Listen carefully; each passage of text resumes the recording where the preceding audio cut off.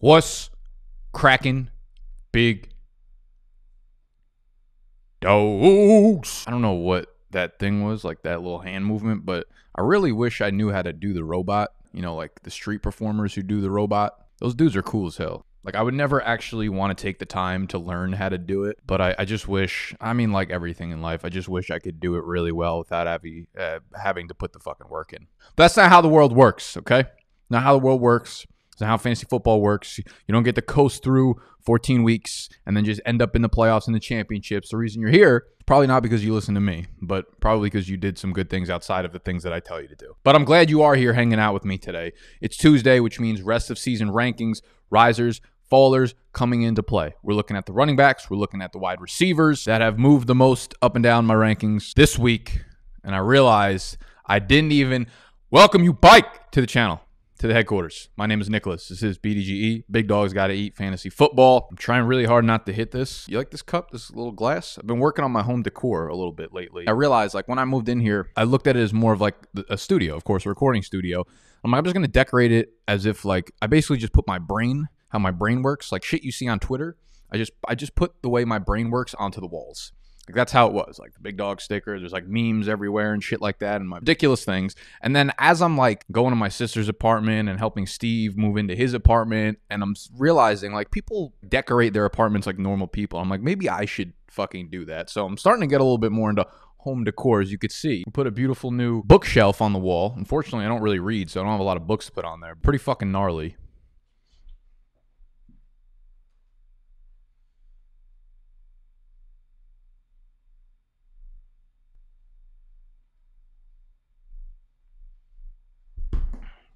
Whatever. Fuck you guys. I'm proud of it. We're making some changes. We're making some changes to the Big Dogs team. Everybody's fired. Let's tuck our shirts in. Stop yelling and let's eat.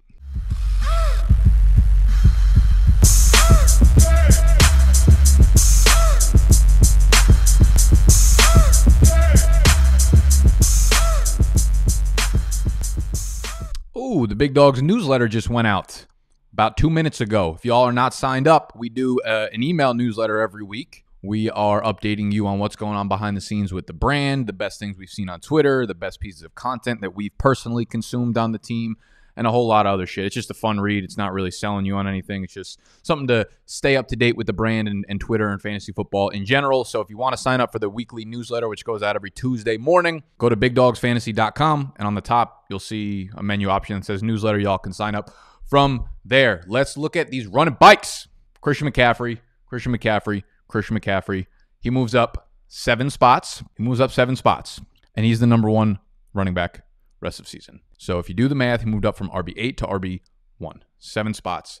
Only because he was on the bye. Obviously, he was unhealthy, but he's going to be ready to go. He's going to be able to roll for the next three weeks, and he will as he's done the last few years, win fantasy championships. Now, I'm not going to cover every running back on this list from 1 to 36. Same thing with wide receivers. If you want the full list of rankings, you can go get them on patreon.com forward slash BDGE. We're just going to talk about the biggest risers and fallers again. Now, CMAC, fully healthy. You're looking at the rest of the team, though. We've got DJ Moore on the COVID list. We've got Curtis Samuel as a close contact. Now, I believe DJ Moore tested positive actually for the virus. I believe Curtis Samuel was just a close contact, so I'm not sure what the status is actually going to be for Sunday's game. I do believe this puts DJ Moore out of the game, and Curtis Samuel can return.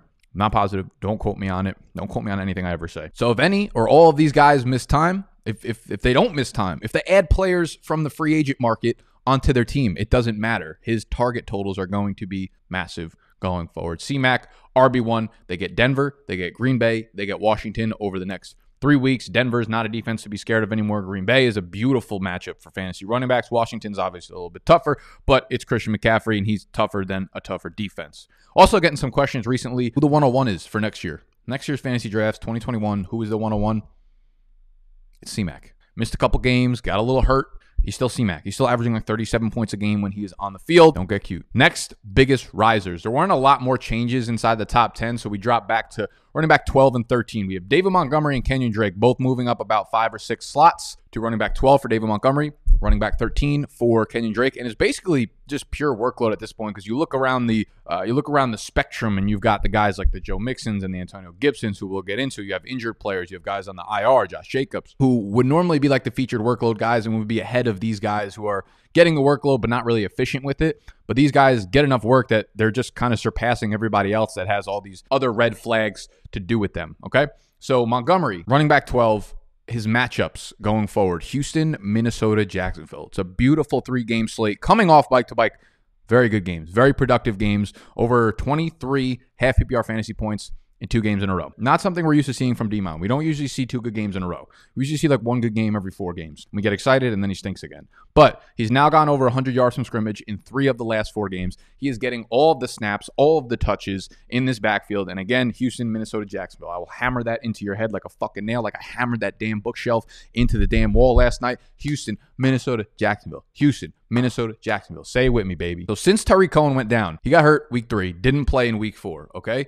Since he went down in week three, Montgomery leads the NFL, leads running backs in the NFL in routes run per game. 30.1 routes he is running per game. The next closest guy is Zeke at 24. A massive drop off. No one is running as many routes as David Montgomery is. So the passing work is there to stay. Maybe it's not efficient. Maybe it's kind of inconsistent, but he's on the field and running a ton of routes. So I expect that to continue to rise his floor up a little bit. So I can't wait for this to come crashing down, honestly, because prior to Sunday, Montgomery scored two rushing touchdowns on Sunday. Prior to that, he had two rushing touchdowns in his previous 18 games combined. Not a good look, and it's probably what's going to happen over the next 18 games. So I'm sorry for everyone that starts him and he gets like six points three times in a row. Now we have Kenyon Drake. Honestly, he still hasn't been that great as a running back when you look at the efficiency numbers and him just like avoiding tacklers and shit like that. Still not a great running back. But again, the volume is there. He's been the RB7. He returned in week 10. He returned in week 10 from the, uh, the ankle injury. He's been the RB7 in fantasy, in half PPR, since he returned. Okay. Top 12 in receptions. He is number six in rush attempts overall, four game window. Number six in rush attempts, second in red zone carries with 20, second in rushing touchdowns with four, and first with goal line carries. Number one over the last four weeks in goal line carries. He has 10 goal line carries in the last four weeks. That's an absurd number. That's like as many as he had, I believe, I believe he didn't even have that many last year combined. Now he's got it over the last four weeks. So he's getting the volume, he's getting valuable volume, he's getting the goal line touches, and uh, there's not much more you can ask for from a guy being ranked RB12, RB13. Now, they do get the Giants, they get Philadelphia, and they get San Fran. So none of those are pushovers when it comes to run defenses against fantasy running bikes. So it's volume meets opponents. Something's got to give. It's probably going to be your pathway to a championship because Kenyon Drake, I'm sure, is going to bust again. Now, the biggest riser of the week, the biggest riser of the week, single handedly moving up 20 spots in the running back rankings, is Going to be shouted into your face right after we take a look at our favorite games from Monkey Knife Fight for Tuesday Night Football, baby. Monkey Knife Fight. Go to monkeyknifefight.com. You will see this on the homepage. You obviously have to sign up first, and since we want to multiply the revenue, you first have to insert. Scared money don't make no money. Remember that, all right? Scared money don't make no money. What you got to do is deposit 5 10 15 20 up to $50 when you do so and you use a promo code bdge when you deposit they're going to double whatever you put down so if you just it, it's just $10 literally $10 throw 10 they're going to give you 20 to play with once you do that you go over to the little football action over here click the little football icon up there click dallas we click baltimore and there's a ton of games that you guys can kind of look through and see what you like but i was looking at some games and this is the one i most personally i'm most personally like. We have over under or rapid fire. You're going to three and a half X your deposit if you get this right. It's strictly two games that you've got to pick passing yards, Andy Dalton, Lamar Jackson. You're getting 30 and a half passing yards from Lamar Jackson. So as long as Lamar Jackson stays within 30 passing yards of Andy Dalton, you win that bet. And I'm going to bet on Lamar there. I know he hasn't been good this year. I know Baltimore's a run first team, but listen, 30's a lot. 30's a lot for an Andy Dalton led team. Like Andy Dalton hasn't been fucking great this year. What, what are we talking about here? Give me Lamar Jackson 30 and a half. And you got J.K. Dobbins and Ezekiel Elliott. J.K. Dobbins, 1.5 rushing yards. They're expecting J.K. Dobbins to stay within 1.5 rushing yards of Ezekiel Elliott. And I get it. He's a more explosive back. He's more fun to watch. He's more exciting. But listen, he missed last game with the COVID thing. And again, I've talked about this a lot. For rookie running backs, the mojo thing is very fucking real. Mark Ingram is going to be there. Gus Edwards is going to be there. Had this been last week and he didn't get the and he wasn't on the COVID list and he had the momentum going in from the previous week where he got the most touches, I would feel really good about this. But listen, Zeke is still the guy getting 16, 17, 18 carries a game. It's not going to be efficient. Baltimore's a good run defense, obviously, but I'm I don't know. I'm just I, I just feel like that's a little bit fluky of a line. I think we're projecting too much upside for Dobbins here, especially on the ground. He's a pass catcher, maybe has uh, some explosive plays through the receiving game, but that doesn't affect the rushing yards. So we're going to go with Zeke, minus one and a half rushing yards. We're going to go with Lamar, plus 30 and a half passing yards.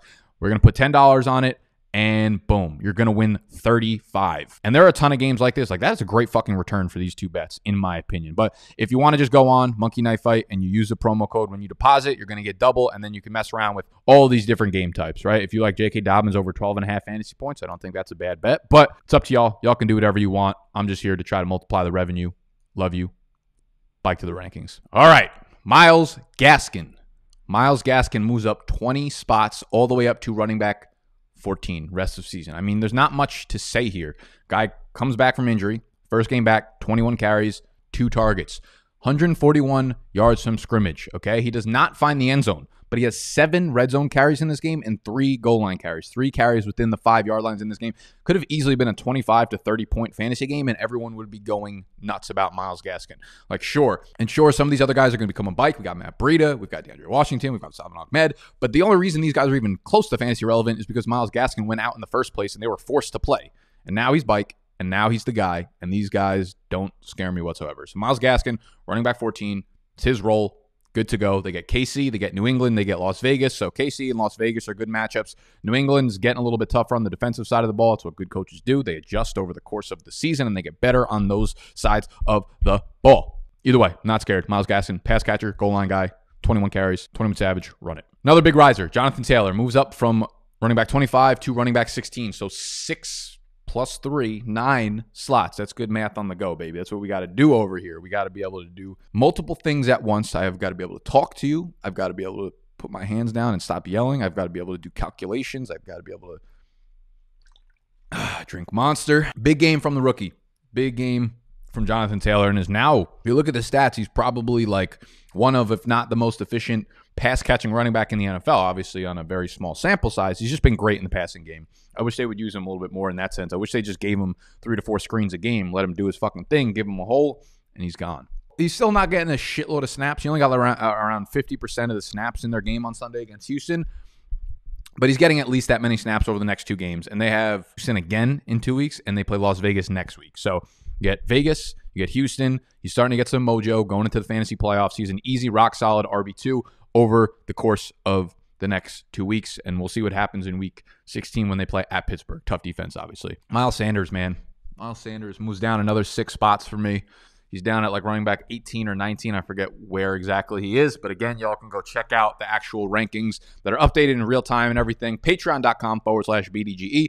When you sign up on Patreon, you will also get my in-season weekly rankings. So help you with your sit start questions, etc., etc. It's fucking brutal, man. Miles Sanders gets New Orleans next. No one can run on them. All we can hope for right now, the only hope we really have for Sanders at this point is that Jalen Hurts like shoots some fucking energy into this offense. But for now, the Saints, Miles Sanders is like a flex play and not even one that you really feel confident putting into your lineup. They get New Orleans, they get Arizona, they get Dallas. So if they can you know, move things around. If they get things going in this one, then the next two matchups are good ones for running backs. But hard, hard, hard to like uh, what we're seeing over there from Doug, from Dougie P. Man, the way he's using Sanders is just a fucking travesty. It's criminality. It's it's not justice.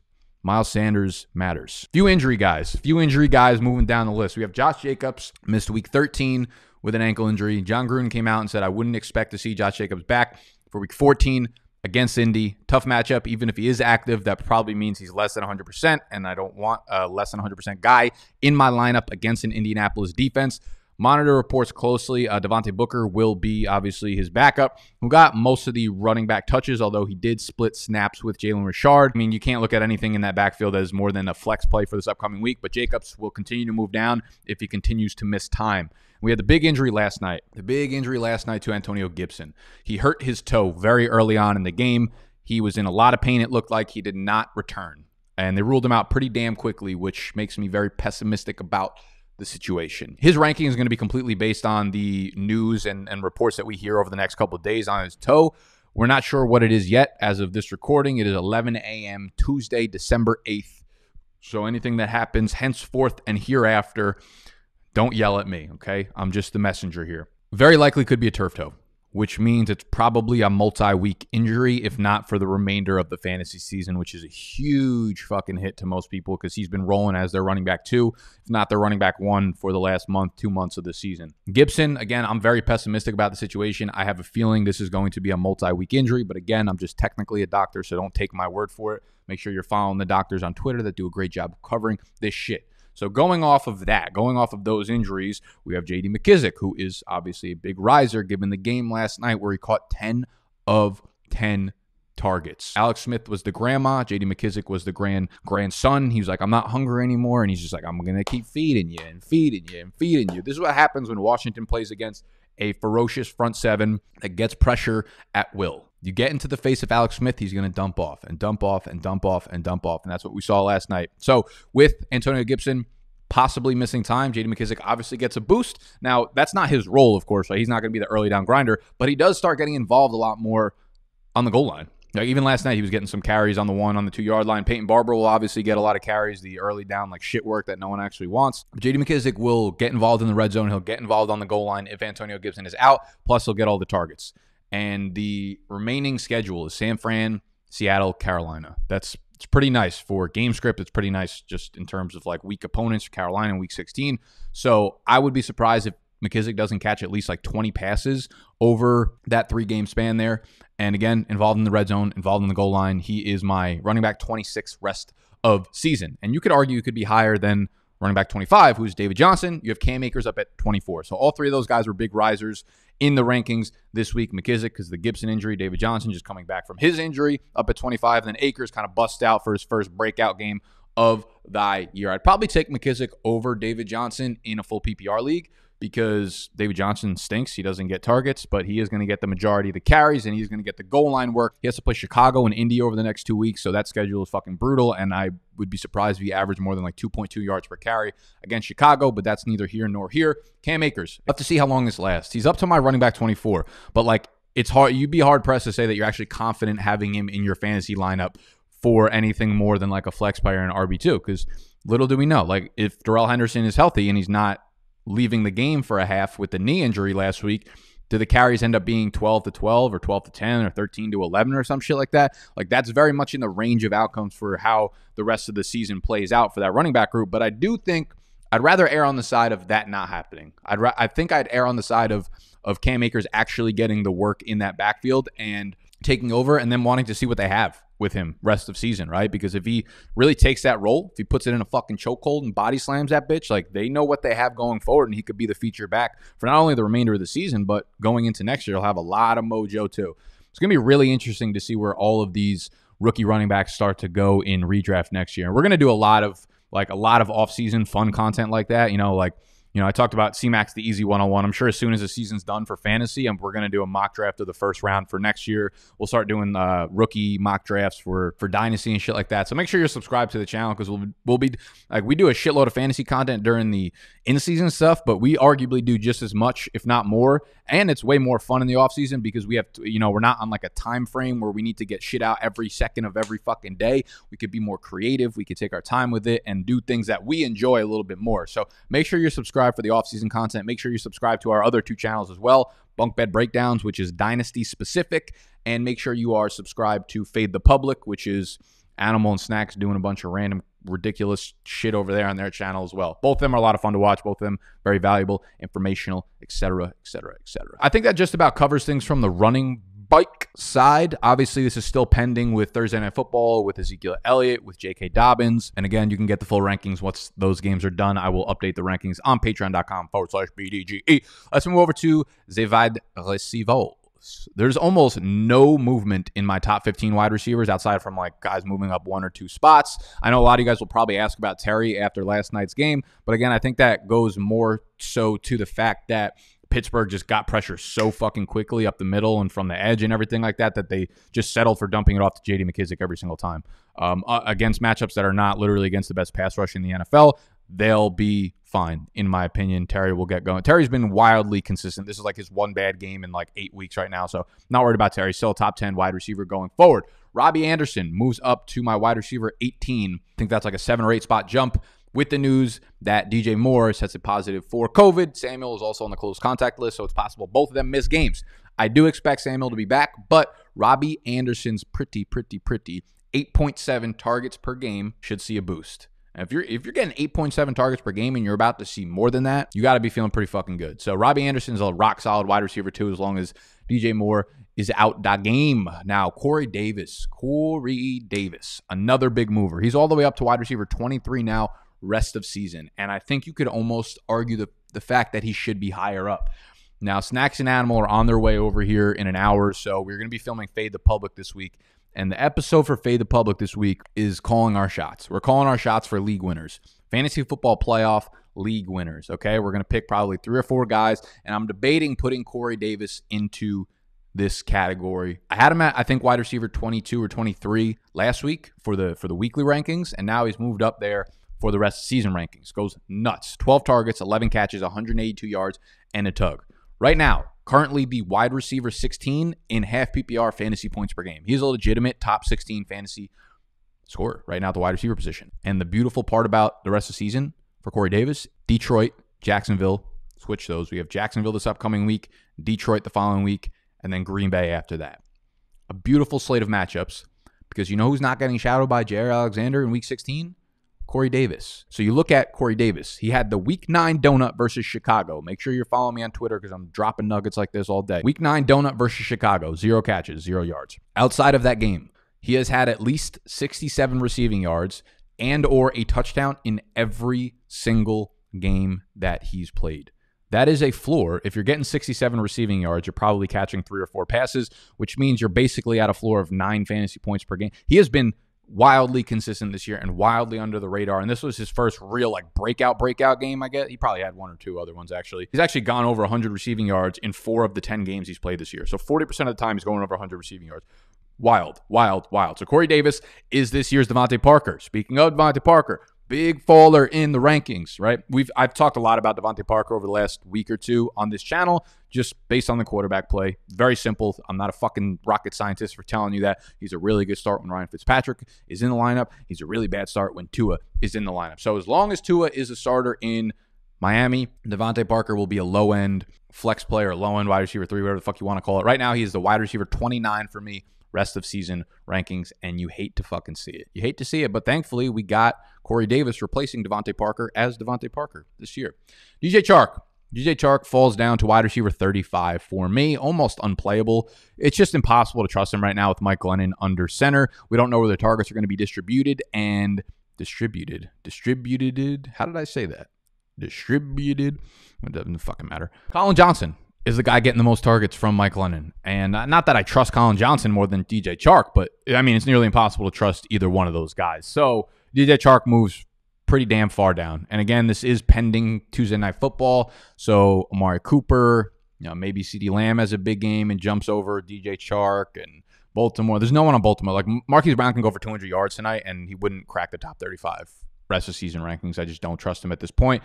Um, but that's all we got in terms of the biggest risers and the biggest fallers for this week in the rankings. Week 14. Big fucking week. Big fucking week for the boys and the girls out there. I know we don't discriminate over here, although I could see my YouTube demographics and I know that's like 99.3% male female ratio, but shout out to the 0.7% female ratio. I love each and every one of you. I think on this Saturday's live stream, which is another perk of being a Patreon. You get to hop in the actual live stream with me and ask your question.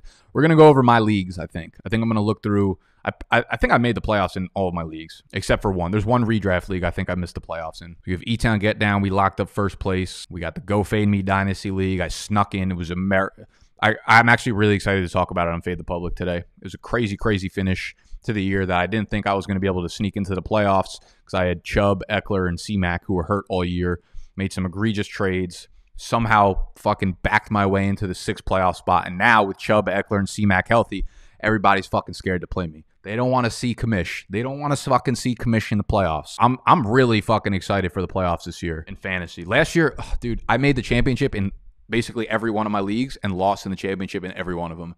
I, I played in five leagues last year. I made the championship in four of them, and I lost in all four of them. It was fucking brutal. You play for 15 fucking weeks. You play so well. You get to the chip game, and you lose all of them, It's just like a coin flip, a one a one week matchup, a one day sample size of what your fantasy team is going to do, and everybody fucking let me down. Ain't happening this year. I'm fucking clean sweeping everybody. Commish has got the stick out, and he's fucking knocking people over the head with it. Fuck it. I'm out of here. I'm pumped up. I'm ready to roll. So I'm going to dominate the rest of the day. I hope y'all do the same. Make sure you hit the thumbs up button if you enjoyed. Make sure you subscribe to the channel if you're new. Like I said, we're going to fucking rock content all off season. I got nothing but love for you guys. Patreon.com forward slash BDGE.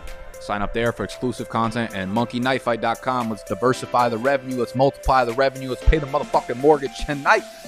I'm out. Goodbye.